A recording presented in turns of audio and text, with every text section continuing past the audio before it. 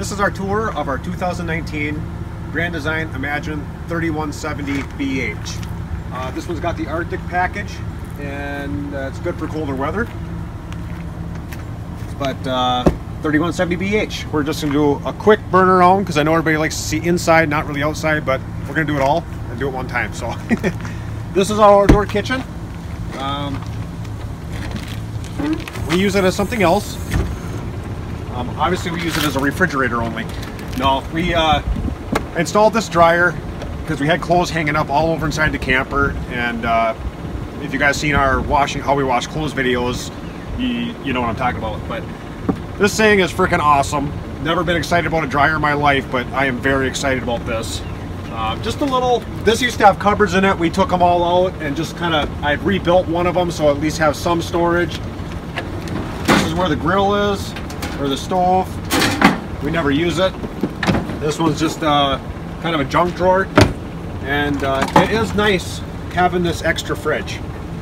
So water can follow it every time you open it. But, but, we uh, use it mainly for water. Yeah we use it for water but you know if we're, if we're going somewhere for a while we'll we'll put food in there too. So it's just nice having that they got a small fridge inside but at least you got some more room. It's coming handy yeah lot. it does uh, power awning here's the one door there's two entries in this in this one that one goes into our bedroom up there. There's this one. Um, the tires, everybody's wondering about RV tires. These have been good. We've got over 6,000 miles on these tires already and they're they're filled with nitrogen. They're holding nitrogen. We haven't had any issues with the tires, so we put them through the paces. Um, under the awning, it's got the nice LED lights and it might not look like much, but at night it will light this whole area up. It's it's perfect. Um, couple little three inch outdoor speakers. You can shut them off so that you can only have radio inside or turn them on and have it on only outside or both or whatever. But we use that quite a bit. I like that a lot. Um, other stuff, here's a little outlet, which is nice. Just sitting out here. I used it the other day. Had a fan just blowing out here on us. That was nice. We're in the south. It's hot. Yeah, it's hot. Um, here's one side of the pass-through storage. It is all passed through completely all the way through. I organize that Organized every chaos stop. is what we call it. Yep. We know where everything is. No, so, I organize it every stop, but that's what it looks like yeah. after 10 minutes. Yeah, once I'm in there for one minute, it's done. I don't know why I try. Right. Uh, it's got the nice uh, fiberglass front cap. I like that a lot. Uh, the LED strips, these these are nice too because when it's dark, I mean, it will light all this up in front here. We usually nice. keep it on at night so we can find our trailer. Yeah, it helps you find your trailer. It's got two 20 pound tanks on the cover. It's got a light for if you're going to do something at night. I don't know. Electric just, jack. Yeah, electric jack, that's nice. This is our sway bar setup. Those were an add-on. Yeah, add-on. You, you got to have that, I think. This is the other side. Oh, it is prepped for solar panels if you have that or want that. We use a generator when we need to. This is locked, so it does have a lock in it and you can't open it if it's locked.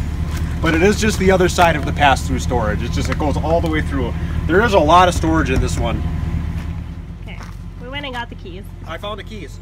so, but that was important to know that it was locked. But so this is where the water hookups are. It's it's nice because it goes under the belly. You don't have to have it sitting on the outside like a lot of them. So it goes under here. We installed this 90 with the water pressure regulator here. And uh, right now we're on city water, obviously. But what's nice is when we're gonna go, if we're not, if we're going somewhere that doesn't have water, I flip this, and right now it's filling the tank. So I don't have to like, I don't have to fill it through here. It just fills itself, and then when it's full, it comes out the overflow, so you know it's full. But so that's nice. Before you unhook your hose, you can fill your tank and get ready, get everything ready to go. 12 volt battery disconnect. Um, it's another more outlets here. There is one on the other side too. But we keep all the sewer and cores and power stuff in this one. Got lights in here and you yep. can put them motion sensor, yeah. Put them on motion sensor if you want. Yep. Cable hookups are in here. Um, it's got a little outdoor deal here. If you wanted to take you know, wash a dog or something, I guess. You got your hot and cold here. There comes with the hose for that. But uh, These are magnet, so it's nice. They just stay up there. Yep, magnet locks. And then this is where you freshwater fill. If you are not hooked up and you just want to fill it real quick. This is the black tank flush, which is nice. It's got the sprayers in the black tank so you can clean that out. Little light out here. And under here there's three valves. Now there's four valves. This, if um, this one is your fresh tank, so if you want to dump your fresh water, you just pull that and you can empty it. This is a gray tank. There's two gray tanks. There's that. That's for the. So that's for the front bathroom and shower. The sink and the shower, I guess. The black tank is in the middle here, and then there's a gray tank that is separate for the kitchen stuff that Nicole left open. So when we flush, we usually do the sewer first, and then we do the two gray tanks to flush the tube out. I think everybody does that. I hope. um, You never know. So this is, uh, we're on 30 amp right now. This this rig is 50 amp, but we got the adapter on it for 30 amp because that's what this site is. This is our surge protector. Um, you can see they call it the pocket size. It is so small and compact you can put it right in your pocket. Should I show them? but uh, I don't know. Heard a lot of stories about people that don't have them, and I didn't want to be one of those stories, so we got the mini, the mini pocket size one. And then uh, down here, this is the, the big slide that you see in the kitchen living room. And then this is the slide for the bunk room. So this is where your power cord comes in. Uh, it's all separate. It's not one of them type that shove in a hole. Uh, so you can roll it up. Put it. We put it in the storage compartment up there. This works all good. I like it. It's got the little locking collar on it. This pops in and twists. It's got the light on. It comes on when it shows that you got the power. So if you lose power and this light's not on, it doesn't mean it's this. It means it's from the box. So this we'll talk about what I did later. But uh, yeah, the only thing is that I don't really like is this is so far from like the water hookup and the sewage, which is in the first quarter of the camper up there, that we have run into the problem where we don't have enough sewer holes going this way and a power cord going this way because these are all so far apart, but we just got more sewer line and problem solved. So the awning is power. I'll show you where it is. It's on the control panel. The control panel for your black water tank, fresh water, gray water, battery, everything is right here. You just push the buttons, tells you what it is. Um, electric, if you want your electric for your water heater or gas, you pick that. Water pump, outside lights, ceiling lights, and the two slides and the awning. So everything is right here. Um, and yeah, this is nice. We used to have a camper. We used to have a camper that uh, somebody needs to learn how to walk. we used to have a camp. She's been drinking. Not true. Uh, how many times is this? Five now? We used to have a camper where you had to hook the hook the thing and pull it out manually. So having the power awning is super nice. You just hold the button, it brings itself out all the way, it brings itself back in, it locks itself in. And, And it uh, covers both doors. yeah, it covers both doors, so it covers all this. It's really, it's nice. Like I said, the light does a really nice job. When it's dark at night, I mean, it, it lights everything up out here, so.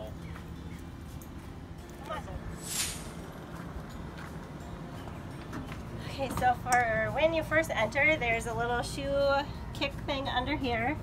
And then Jason made this into a shoe closet by adding a couple shelves. Otherwise, it was just a big open thing. This is just more storage. Got our keys, mirror.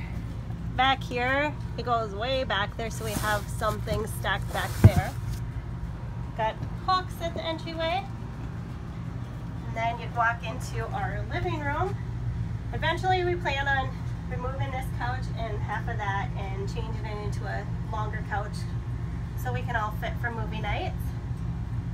But right now those are reclining and massage and heat.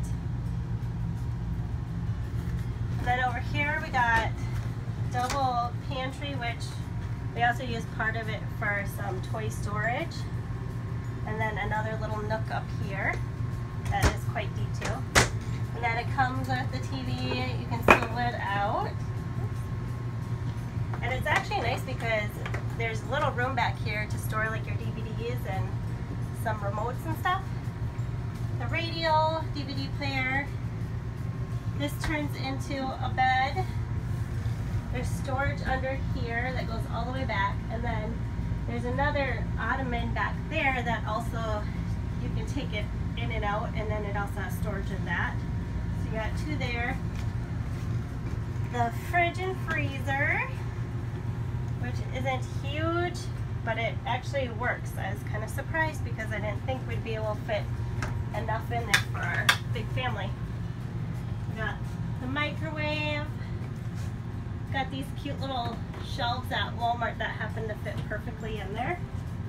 The oven, and when we were looking, everybody said you needed a pizza stone for to cook it even, but we've learned that if you just use any metal cookie sheet under a pan, it works just as well. And then this drops down if you don't, if you want more room. But we always leave it up because we, except when we're traveling because it won't fit with the slide, but we put our garbage under here and then the dog water.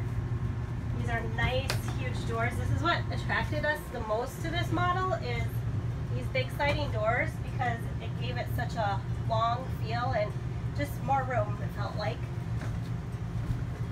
These are deep cupboards. They go all the way back there. Got this little thing just at the dollar store and it works great. That's where most of these are from too, is just the dollar store and green just happened to be the color they had. It's not my favorite color, but for a dollar it works. Cup storage, we got our bowls here, plates, baking stuff. This is one of my favorite parts is the farmhouse sink. I guess not completely farmhouse, but pretty close.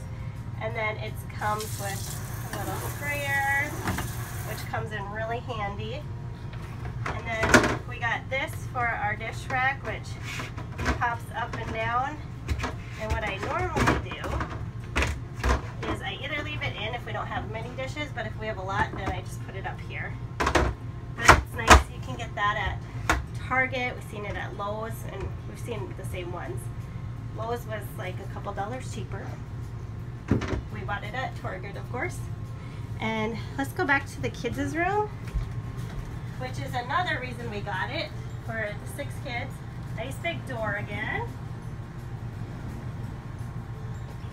Got four bunks in it, one larger bunk on this side, which we actually bring a crib mattress with too for one of our younger boys. So then at night we just put the crib mattress down here. During the day we throw it up here. Another bed here, it's got a little light and some plug-ins under there. And this was actually open storage, but we changed the outside kitchen and took out um, most of them cupboards. And so we had extra doors, so we added doors to here and it's just kid storage. They got bins in there. It's got three drawers here and three drawers here. And so just got their clothes in all them. We have six kids and there's six drawers, worked out perfect. This is the jackknife couch, so at night he usually sleeps with it like that.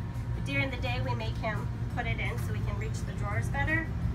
And then this bunk, well also you can push it up and get it out of the way if you were going to use the couch more often, which we never raise it because it's our oldest daughter's bed and we just don't, they don't use this as a couch anyways. So we'll just leave that. And we'll go back to the bathroom. This is also a reason we liked it. We have a huge bathroom where more than one of us can fit in it here to get ready if we need to. It's got the little medicine cabinet up here. Some more storage down here, which we can fit a lot. And even more storage over here. Little shelf here. Not really know what to do with that yet. It's got four super deep shelves. Here they go all the way as deep as the shower. So those are nice for towels and stuff. Then we got the shower here, which I'm not a huge fan of this right now because it doesn't seem to work right. But we got a big shower. It's also our laundry room. Um, if we need to shower, we take out this stuff and just set it in the bathroom, which still gives you plenty of room. Nice tall shower. I'm kind of short, but still Jason fits in here just fine too. It's got a skylight. So that was nice. And then this is our bedroom, which we have a exit door here, which we don't use very often, hardly ever. But the thing we wish is it didn't have the privacy window, had a regular window we could open and close so we could get the cross breeze, but it's all right. Got closet and like underwear drawer here. It's got a couple outlets down here, a couple lights above, and then like storage up here, which we use for blankets and extra diaper stuff. Show you that. Our little printers up there. So we changed the closets too. They used to have the pole in here for hanging stuff, which wasted a lot of space because these are really deep too. So then we added, I think two shelves in Jason's and three shelves in mine. And then I got the youngest one's diapers in here and then extra clothes back there. Little command hooks for your jewelry. I don't have a lot of jewelry, so it works fine for that. Um, little drawer here. They're really, really deep. And then my side actually has um, an outlet and also USB outlet for charging your phones or whatever, which is nice. And I will warn you, this looks like it'd be a step into your bed, but it's not. You step on that, you fall through. I learned the hard way, there's zero support under there, so Jason had to rebuild it. We um, installed a TV up here, so rainy days we can watch movies or whatever. Our little vacuum sits here. And that's pretty much the tour. So if you look down here, you can see how much room it actually feels that we have. But we love it so far, and there's eight of us and we fit in here just fine. Which is kind of shocking because we came from a two-story house and way more square footage than this, but we love it actually. So there's more drawers here. Here's a little cupboard which I keep like my longer cookie sheets and stuff and my electric frying pan and stuff. It's good for that. Big drawer that comes out all the way here for your pots and pans or whatever. Lots of room for that. Got two more drawers here. Keep our silverware here. And then this drawer for your washcloths or anything like that. It's really shallow. It works good for that.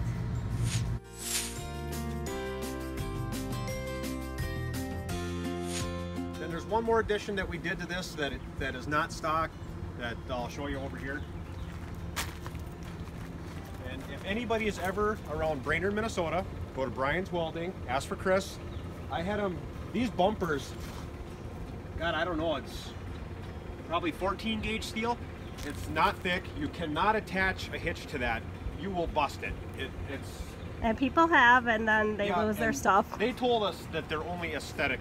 That- That's that's their purpose, and to hang a spare tire, and they and I've had guys tell me that even the spare tire hanging on this will break it.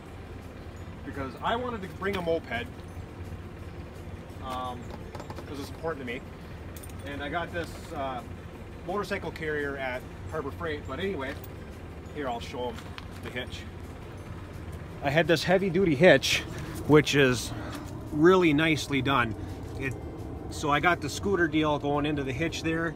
They did that. They dropped the underbelly and they welded it all up to the frame. It's all welded all up in there. I don't know how good you can see it, but anyway, so it, it's it's welded to the frame in there, so nothing is attached to that heavy duty piece there. But uh, they did a nice job. So, like I said, if anybody's ever in the Brainerd, Minnesota area and they want a hitch and they want somebody that has had one and is happy, talk to Chris. There it is. And then back here is uh, just like that water port that was up in the front storage. You can also hook that back here to uh, have water back Which here. I is great for rinsing feet if you're in the sand. Yeah, I actually I use this a lot because when we were by the ocean, I just leave that little hose hooked up and I just set it on here. And every time we come back from the ocean or a pool, just to rinse the chlorine or the salt water off. I mean, it found a good purpose for it. So that's actually really nice because the door's right there, so you're cleaning off right in front of there. But this is the where the dryer exhaust. I had to cut that in. It took me um, about an hour of mental preparation to put a hole in my brand new camper, but it's there. Yeah, that was hard. Yeah, it, it's nice. Furrion backup camera, love that thing. Helps a lot. Yeah. Keeps an eye on his scooter when we're going down the road too. Yeah, I can see the scooter, I can see the cars, they're even backing in like, you know, I don't need her back here to tell me where the end is because I can see it from up there, which is really nice. One thing I will say about this one though is that this has the bigger AC, it's the 15,000 in it, and if you're in an open area and it's hot, it's not enough. I mean, it, it's running 24/7 to do everything it, it can. So, if Especially in like Mississippi. yeah, Mississippi, Florida. We were in Florida and the Orlando RV there, Thousand Trails, and it was pretty open. There wasn't any shade. So, if being cool is important, I would get the second one. This is pre-wired for a second one up in the front. Um, it's not that important to us. This one will take the humidity out and it does cool it down. And there she is.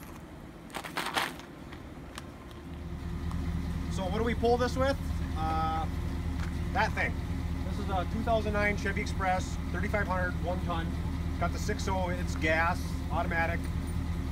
It pulls it just fine. I mean, if mount, you know, if you're going up a lot of hills and stuff, I mean, that's maybe that's when you want a diesel or a lighter unit. But uh, this this van has pulled it halfway across the country already with zero problems, and it's we love the van. So the camper from I think his overall length is like 37 feet and close to 32. 8,000. Huh? 32, I thought. Well, the camper itself is, but hitch to bumper is how they measure them. And I think it's 7,800 pounds dry, if I remember correctly. So it's could use a bigger tow vehicle, but this works just fine. So if this is what you got, you can do it.